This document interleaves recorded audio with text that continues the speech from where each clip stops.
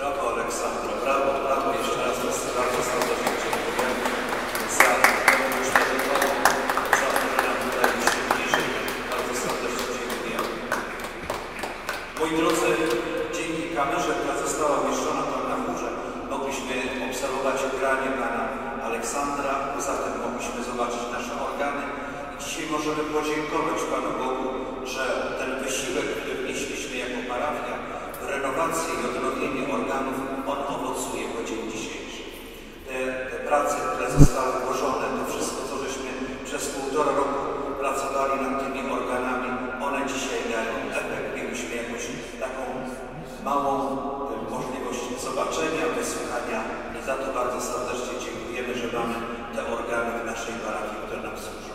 Dziękujemy również Panu Gołąbkowi, który przy zaprosił